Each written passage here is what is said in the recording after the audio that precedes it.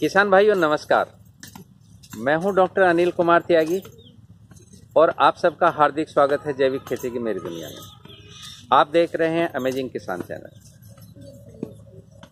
आज मैं आपसे दो विषयों पर बात करूँगा और दो अलग अलग वीडियो प्रस्तुत करूँगा। पहली वीडियो है, अमरूद की खेती आप कौन सी प्रजाति लगाएँ?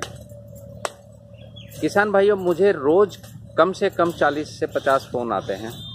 और व्हाट्सएप पर अलग बात होती है, किसान जुड़ते हैं, बात करते हैं, मुझे अच्छा लगता है। लेकिन थोड़ा सा समय के प्रबंधन में प्रॉब्लम हो गई थोड़ी सी थोड़ी सी समस्या है।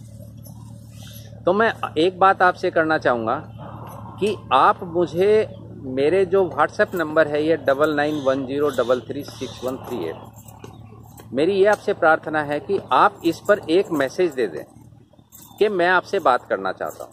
तो आपको बात करने की आवश्यकता नहीं होगी। मैं आपको कॉल करूँगा, क्योंकि जब मैं बात कर रहा होता हूँ कहीं, फिर दूसरा नंबर आएगा, उधर से फ़ोन बजने लगता है तो फिर उसको मेरे को कॉल करना पड़ता है। थोड़ी सी समय के प्रबंधन की वो है मुझे कोई बात नहीं है, मैं देर तक जागूं या कैसे भी प्रबंध करूँ, लेकिन आपसे निश्चित रूप से मैं बात करूँगा। ये मेरा वादा है आपसे। क्योंकि इससे मुझे खुशी मिलती है जब साझा करते हैं बातें साझा करते हैं, मुझे भी कुछ सीखने को मिलता है, मैं आपसे अवश्य बात करूँगा, ये मत रखिए कि मैं बात नहीं करूँगा। तो मेरे व्हाट्सएप नंबर पे आप एक सिर्फ़ मैसेज दे दीजिए कि मैं आपसे बात करना चाहता हूँ और इस विषय पर बात करना चाहता हूँ। तो मैं आपको अवश्य करूँगा, ये हुई पहली बात। दूसरी, जो मेरे पास सबसे ज़्यादा अधिक जो बातें पूछ रहे हैं किसान भाई, वो दो बातें पूछ रहे हैं, इसलिए मैं दो वीडियो बना रहा हूँ। पहली है कि हमें ये बताइए, हम कौन सी प्रजाति लगाए? और दूसरी है, हमें ये बताइए कि ये पौध हम कहाँ से खरीदें और कौन सी पौध खरीदें? तो आइए पहले विषय पर बात करते हैं कि कौन सी प्रजाति लगाए देखिए किसान भाइयों, जो प्रजाति मैंने लगाई है, यह आवश्यक नहीं है कि ये प्रजाति आपके यहाँ भी हो जाए। जैसे मैंने अपने यहाँ एल फोर्टी नाइन लगाई है, एक जी विलास लगाई है और एक ललित लगाई है, ये तीन लगाई है।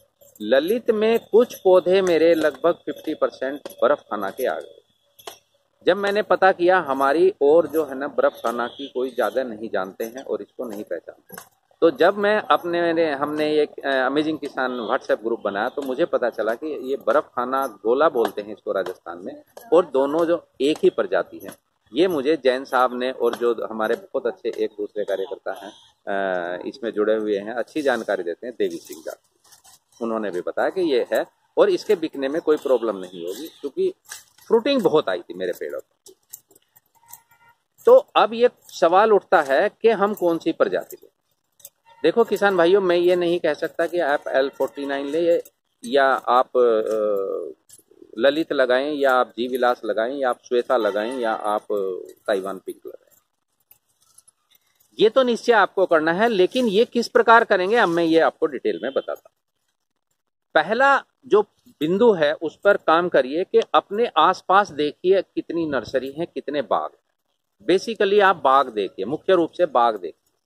किन्होंने लगाई हुई है, और उनसे बात करिए कि आपकी ये प्रजाति कैसी चल रही है, आपने इसका सिलेक्शन क्यों किया है, यानी इसका चुनाव क्यों किया है। तो इस तरह से अपने आसपास देखिए कि कौन सी प्रजाति होती है। मुझे दो एक्सपर्ट ने ये बताया है कि ये ज़रूरी नहीं है कि जो प्रजाति उत्तर प्रदेश या पश्चिमी उत्तर प्रदेश में होती है, वो राजस्थान में हो जाए उसी प्रकार या जो हरियाणा में होती है, वो पूर्वी उत्तर प्रदेश में हो जाए, वही जो है ना, इधर कर्नाटक में हो जाए। क्योंकि इस पर जलवायु का बहुत असर पड़ता है। कौन सी जलवायु में कौन सी होती है? हमारी और पिछली बार बारिश बहुत ज़्यादा हुई है, जबकि राजस्थान और मध्य प्रदेश में बारिश कम होती है। मध्य प्रदेश से एक मेरे किसान भाई हैं कौशिक जी जो जुड़े हुए हैं धौलपुर से। उन्होंने बताया कि हमारा तो वाटर लेवल बहुत नीचे था तो जब वाटर लेवल नीचे चला गया तो पानी की कमी हो गई, पानी का प्रबंधन अच्छा करना पड़ेगा तो ज़रूर नहीं कि हर प्रजाति आपके यहाँ पर हो जाए तो अपने आसपास पता करिए कौन सी प्रजाति होती है, अपने कृषि विभाग से मिलिए, उनसे भी पता करिए। लेकिन निश्चय सब जगह बात करने के बाद ही आप करने कि मुझे अब ये प्रजाति लगानी ये भैया पहला बात दूसरा भैया, अपने आसपास बाज़ार देखिए।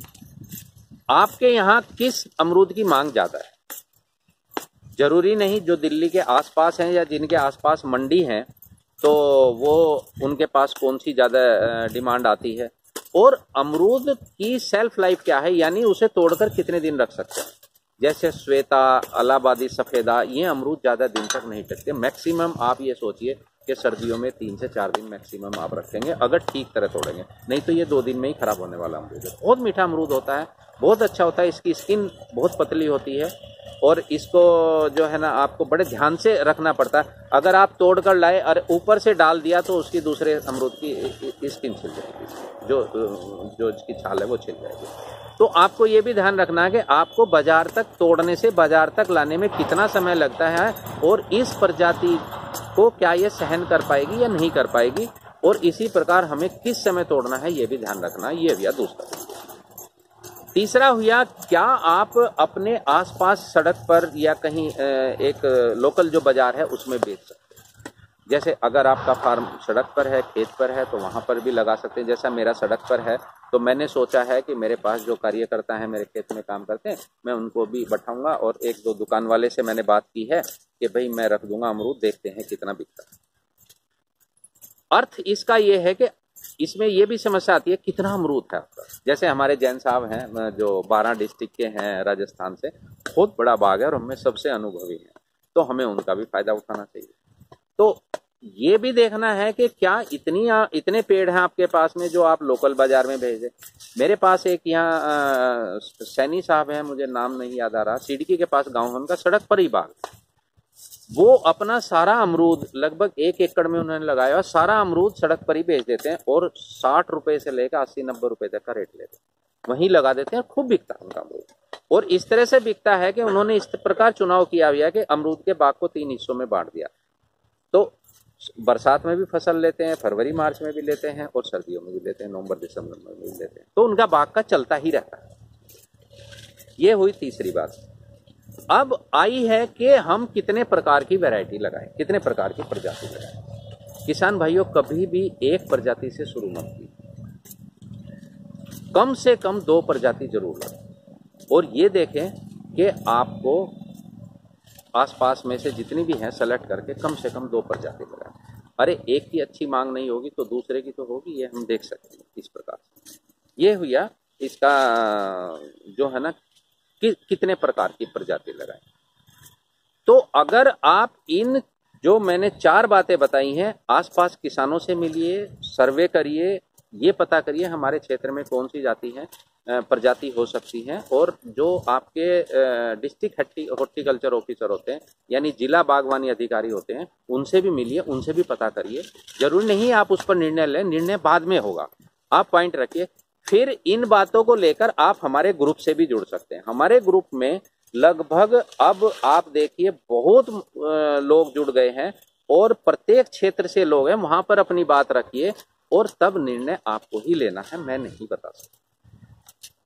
तो ये हुई आप कौन सी प्रजाति लगाएँगे? हम तो सलाह दे सकते हैं, निर्णय आपको ही लेना है, मेहनत आपको ही करनी है और ध्यान रहे, अगर आप सच्ची लगन और निष्ठा से करेंगे तो इसमें नुकसान नहीं होगा। ये देखिए।